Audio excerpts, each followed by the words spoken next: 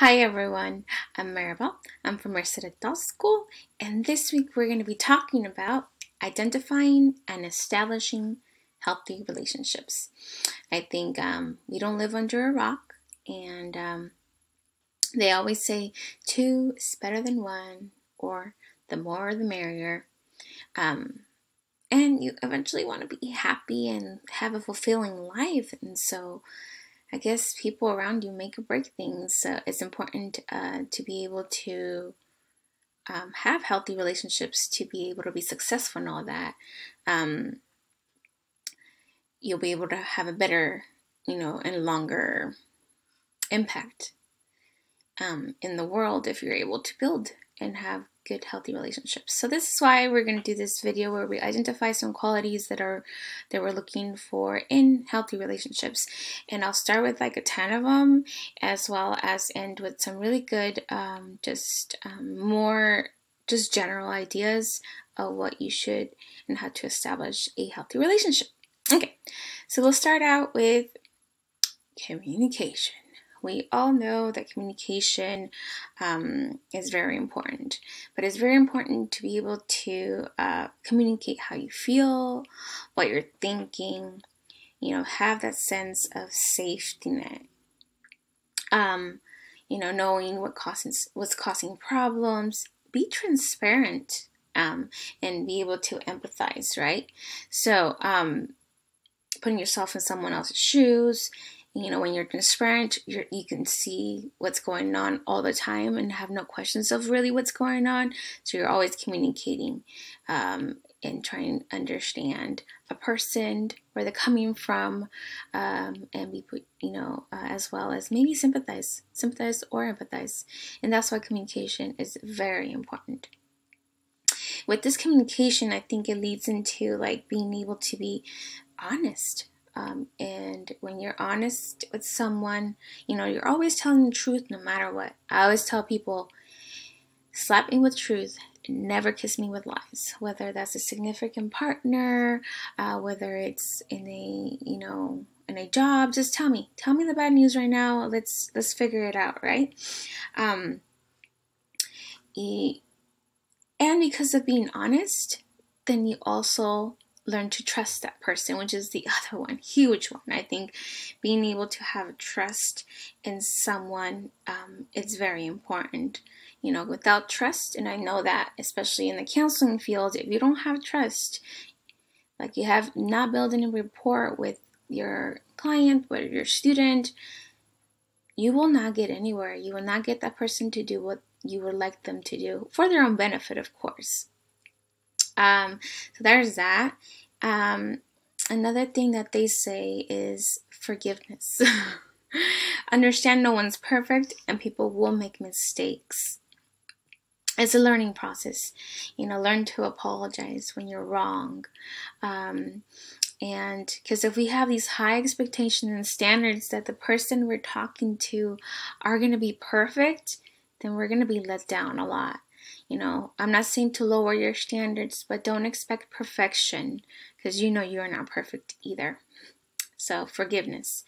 Um, be understanding and i think this one kind of goes with what i kind of said with communication oh, be open to you know um, actually this kind of goes with communication i kind of went with that one communication where you open to sympathy and empathy you know um, always try to understand where the other person is coming from.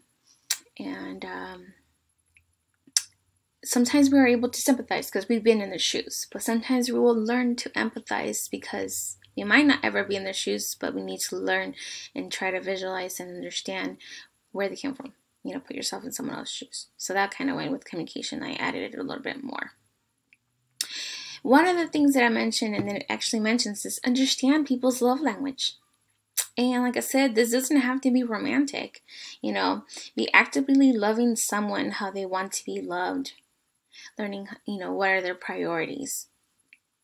And I think, like I mentioned, the five love languages, like we mentioned, is physical touch, words of affirmation, time, like quality time, and um, acts of service, as well as gifts you know like i said if you're in working in uh, like romantic you know little notes you know saying how beautiful they are you know um, and telling you know thanking someone appreciating someone um, whether with a thank you or a please you know so understanding that um, the love languages is huge and it was actually mentioned in there so yay we talked about this love five love languages right um, okay, that's that. And then we have respect.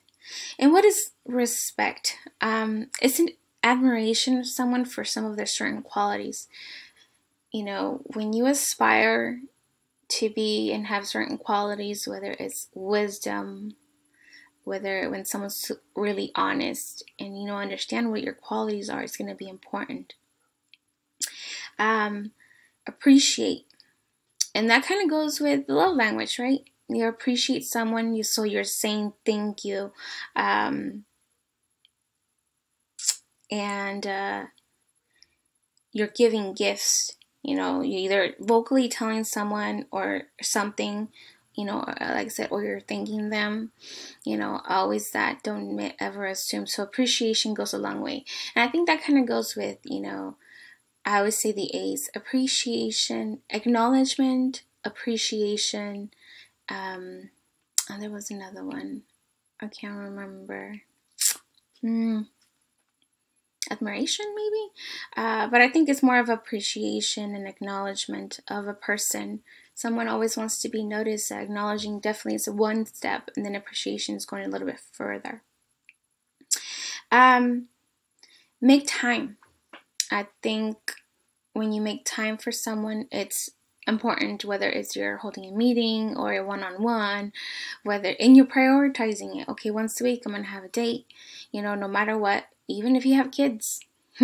In my personal opinion you always will prioritize your um, relationship because guess what? You guys are the foundation. You are what keeps the whole family together. If you guys are happy, your kids are happy. So I think if you prioritize your relationship, your partner, I think you're setting a good example for your kids and um, and for everyone. So make sure you gotta make sure that what's keeping together, the glue that keeps you guys together, which is just you two, that uh, you prioritize that right? So make time for each other. Laugh a lot. I think you always have to figure out, you know, how to make things fun. Have fun. Try something new, you know, um, and that way you can laugh at not at each other, but with each other. and um, so laugh a lot. They say that's a huge one. Autonomy, um, a sense of individuality you know, um, have time away from each other. You know, because ha- you know they say that absence makes the heart fonder. You know, so kind of like have some days, so once a month at least. I would say with your girls, once every other month. I have not idea whichever is more reasonable, girl time or guy time. You know, like summon out. You know, go out with your friends you know, miss me because you're too close to me. You need a break, right?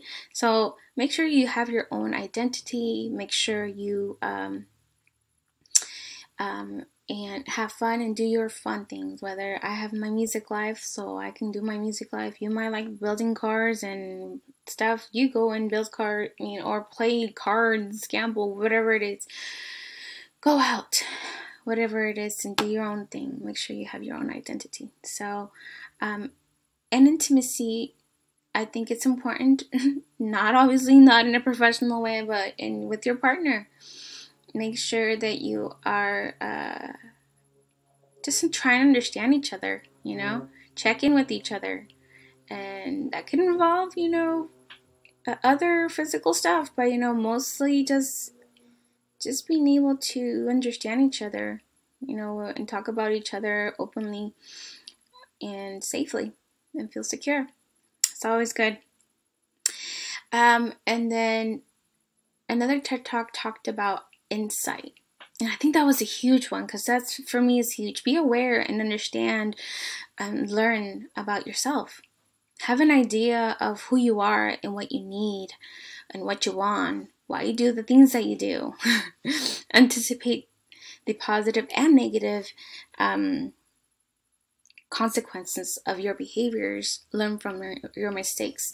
I think it's really good idea to just get yourself like do you like are you needy? Do you like things? So you like a lot of attention. Do you know your love language? Do you know what you're looking for in a partner? Do you know what you're attracted to? Do you know what are your deal breakers? You know like um what works for you what doesn't work for you. That's huge. That's having insight.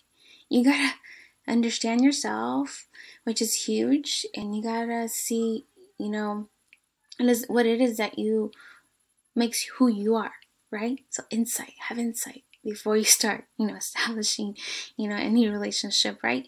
Mutuality was another one. They said, know that both people have needs and they are both important, considering each other's wants and needs. I think this is kind of like once you know your needs, better start learning your brother, your your brothers, your significant others, or someone else's needs. Know your needs is the first step, but now being able to um, consider each other's needs and compromise i think.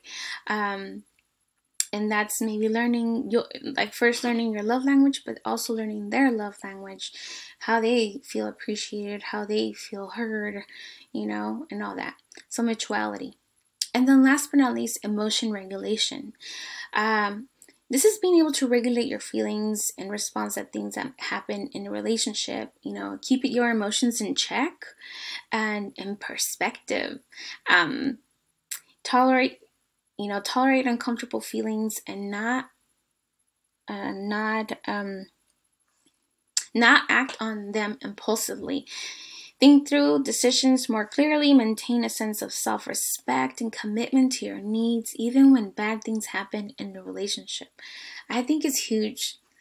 You know, you have to understand, set your emotions aside. Sometimes, you know, you might act overreact, but know how you are and how to kind of manage them because this is where kind of with your emotional intelligence comes into play.